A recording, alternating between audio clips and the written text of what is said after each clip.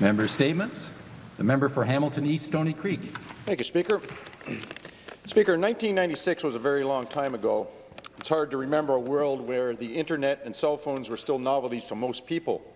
The 1990s were a time when families gathered around the television to watch sitcoms and live sports without the distractions of tablets, text messages, or Instagram feeds.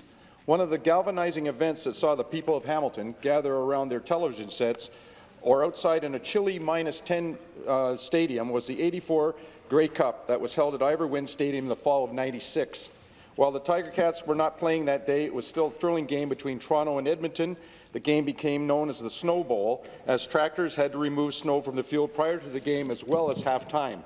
It's been a long time coming, but at last, with a new stadium to play in, the people of Hamilton will finally get the chance to host the 108th Grey Cup this upcoming December 12th. The Hamilton Ticats may not be at the head of their division yet, but it's still exciting today to watch the hometown heroes represent the Eastern Division in the Grey Cup here in the Hammer. We have also been awarded the 2023 Grey Cup. If we don't win this year, we have another shot to bring the cup back to the home of the CFL Hall of Fame. As a famous saying in Hamilton has turned 100 years old this year, Speaker, in dedication to the great pigskin Pete and the Hamilton Tiger Cats, Oskee Wee Wee, Oskee Wawa, Holy Mackinaw, Tigers, Eat them raw. Thank you. Before we continue with member statements, I need to inform the House that as a result of a change in the proportionality of private members within the recognized parties, both the government and the official opposition are entitled to the same number of member statements each day.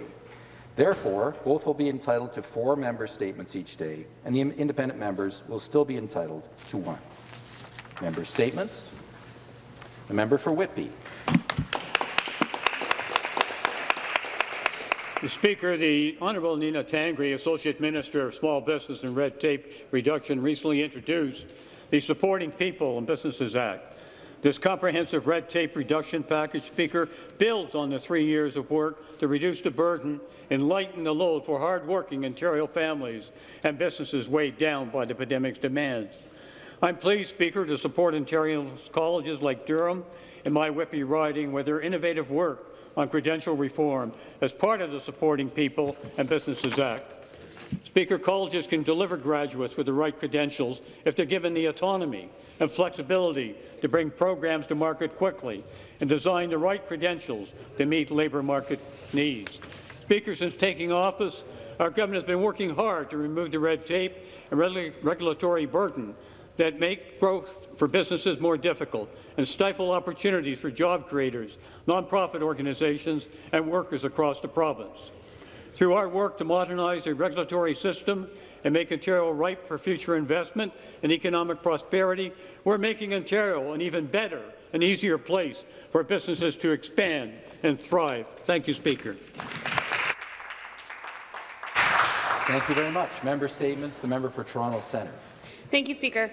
COVID-19 is not the only pandemic we have been battling in my riding of Toronto Centre.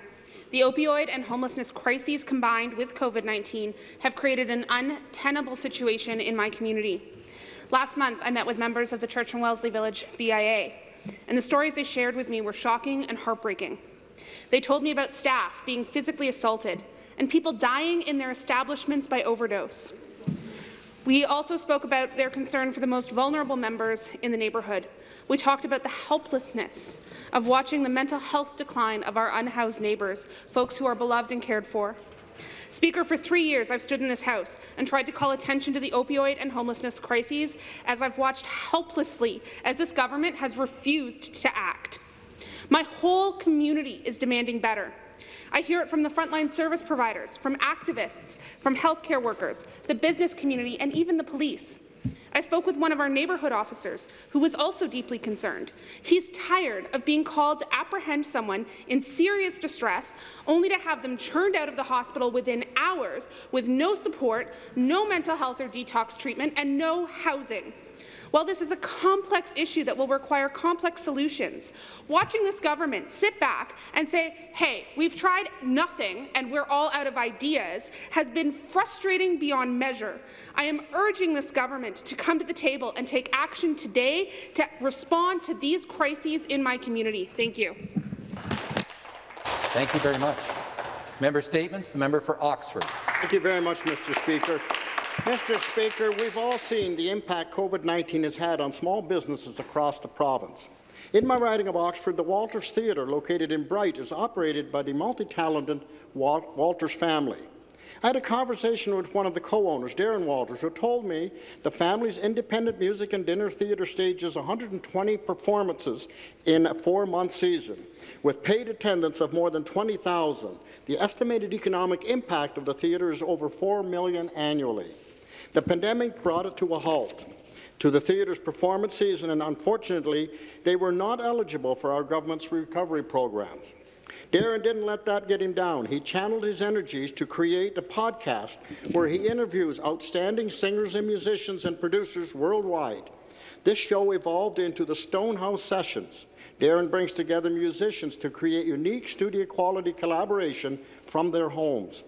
One of the Stonehouse sessions included Nashville country star T. Graham Brown combined with the Canadian singer Jason Blaine and the Canadian Country Music Association All-Star Band to perform a special rendition of Rainy Night in Georgia. Working with this video editing musician nephew, Star Skylar Lambert, the final production earned them a 2021 International Telly Award honoring excellence in video and television. Mr. Speaker, we know that Ontario's small business owners are resilient and resourceful, and I'm pleased to bring an example of this from Oxford County.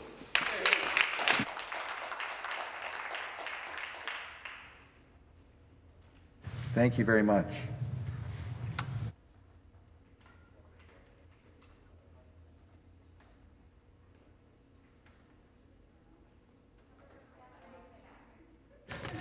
The member for Humber River Black Creek. Thank you, Speaker. This Conservative government has kept up the Liberal tradition of ignoring eye care here in Ontario, and on September 1, 2021, the situation reached a breaking point. Now it has been almost two months that OHIP-covered patients are unable to receive eye care services. We're talking about children and youth up to age 19, seniors age 65 and up, and individuals with specific eye conditions and diabetes. People across our province have been reaching out desperately to get the eye care they need. In my community, I've heard from Neil, a senior with type 2 diabetes who needs regular checkups to keep his sight, Beverly, whose daughter has been suffering from eye pain and migraines, and many more. Countless people whose eyesight has changed and need a new prescription so they can continue to drive and go about their daily lives safely. Enough is enough. I'm calling on this government to immediately return to the bargaining table and work out a fair solution so people can receive the eye care they need and deserve. Thank you. Thank you. Member Statements. The member for Don Valley West. Mr. Speaker, I want to take this opportunity to thank all of the community members and business owners of Thorncliffe Park who for over six months now have been working to impress upon Metrolinx and the government that they do not want the Ontario Line maintenance and storage facility in the heart of their community.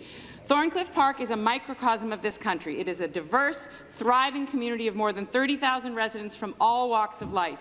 This past spring, I convened consultation tables which met from April to September with Metrolinx in an effort to convey to the transit agency that there needed to be changes to the planned MSF location. I wrote to and spoke with the Minister of Transportation in this legislature.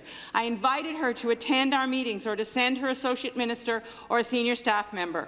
Her chief of staff attended one meeting never to return.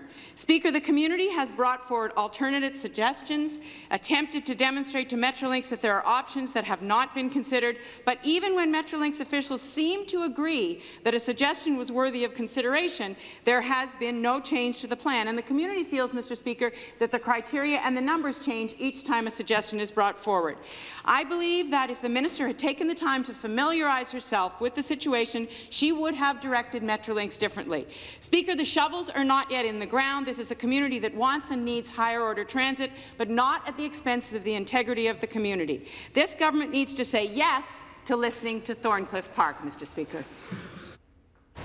Thank you. Member statements. The member for Kitchener-Conestoga. Well, thank you very much, Mr. Speaker. And one of my family's favourite ways to kick off the weekend in Kitchener-Conestoga is to head to the local farmers market. And we are lucky to be just a stone's throw away from Canada's largest year-round farmers market and one of the largest in North America, Mr. Speaker, the market in St. Jacobs. But there are several other markets in my riding, like the ones in Wilmot, Wellesley Village, and Elmira, where you conveniently pick up local produce, meat, cheese, and baked goods all at one stop. But there is one thing that is noticeably absent from Ontario's farmer, farmers markets, Mr. Speaker, and that is craft beer. Even though craft brewers produce locally and support local jobs, they haven't had the same opportunity as wineries and cideries who have been able to sell in farmers markets for years now. The St. Jacobs Market sees over 1 million visitors annually. Uh, that is 1 million potential customers craft brewers in Waterloo Region have been missing out on.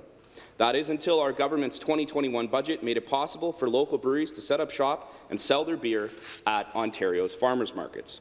I was thrilled to join the Attorney General, the Minister of Agriculture and Rural, uh, Food and Rural Affairs, the Ontario Craft Brewers and Ontario Chamber of Commerce earlier this month in St. Jacobs to celebrate this change and learn about the benefits it brings to craft breweries in Waterloo Region.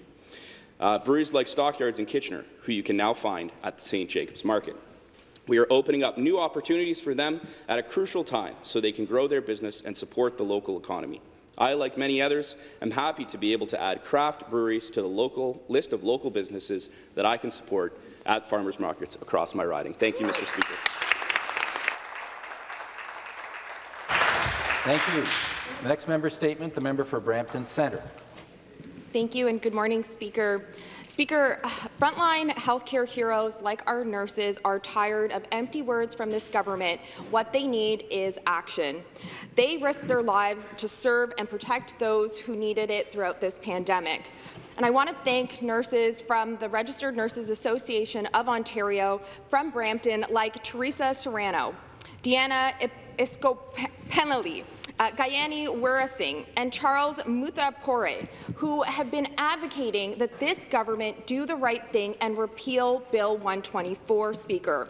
These frontline healthcare workers risk their lives to serve our community, and the way that the government is currently thanking them is by capping their wages through Bill 124.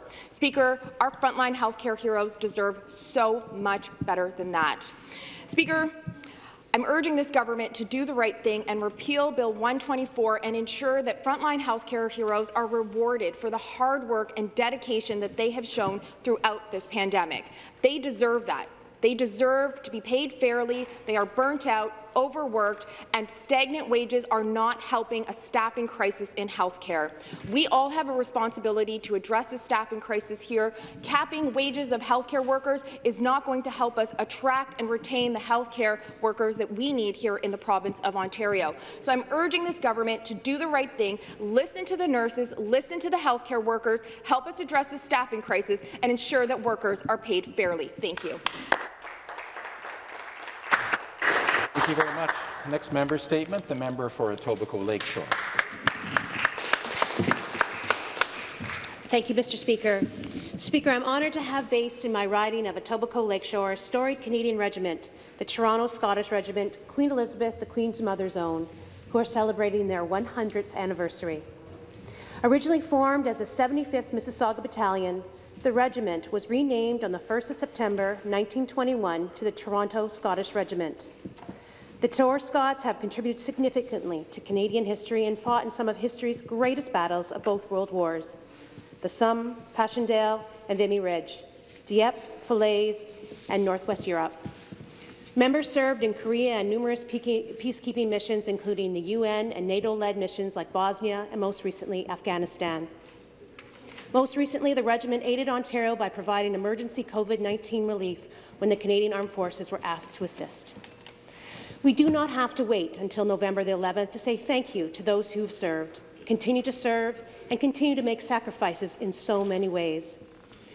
There are so many ways to serve, and I know that the Tor Scots have found every one of them.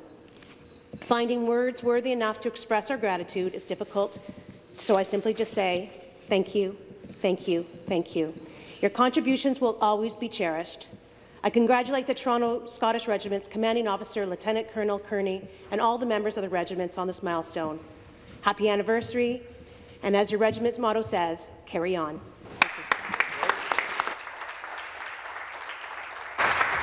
Thank you very much. That concludes our member statements. Before I invite oral questions, I'm pleased to inform the House that Tanvi Soni from the riding of Brampton West is today's page captain, and we have with us today at Queen's Park her father, Nikuji Soni, and her sister, Jill Soni. Emily Martin from the riding of King Vaughan is also today's page captain, and we have with us at Queen's Park her mother, Camilla Martin, her grandmother, Diane Martin. Welcome to the Legislative Assembly of Ontario. We're delighted to have you here.